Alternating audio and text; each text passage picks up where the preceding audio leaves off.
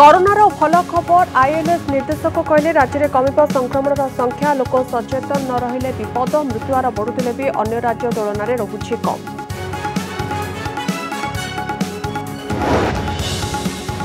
ରାଜଧାନୀରେ ଲାଗୁଛି ଜ୍ୱର ସକାଳୁ ସକାଳୁ ଶାସ୍ତ୍ରୀନଗର ଅଞ୍ଚଳରେ ଯୁବକଙ୍କର ଆତଙ୍କ ରାଜ କଟୁରୀ ଧରି ବୁଲିଲେ ଗାଳି ଗୁଲଜ କରି ଲୋକଙ୍କୁ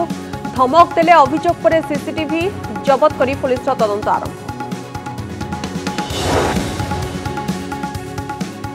उजीवीर सारुअमी जबरदखल मामला एमडी बापा को पुलिस टीम पचराउरा स्वास्थ्य खराब जो अल्प समय पर जेरा कर फेरला पुलिस का तदंतरे सहयोग कर जगी बापा सुप्रीमकोर्टे अनुभव वर्षा बिवाद मामला मध्यस्थता केन्द्र में हाजर होगा निर्देश विच्छेद पटियाला कोर्ट जाभव मामला स्थानातर सर्वोच्च न्यायालय जाइंट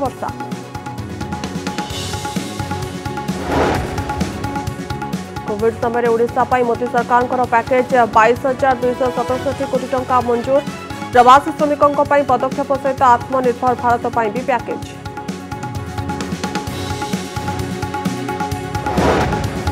সংক্ৰমণ কমুচি কমি নি মৃত্যু 24 ঘণ্টাৰে ৰাজ্যৰ 2138 নৱ আক্রান্ত 17 মৃত্যু ৰাজ্যৰ মৃত্যু সংখ্যা টপলা 1100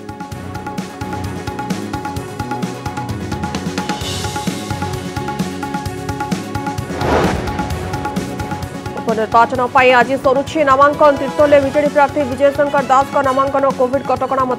चली प्रचार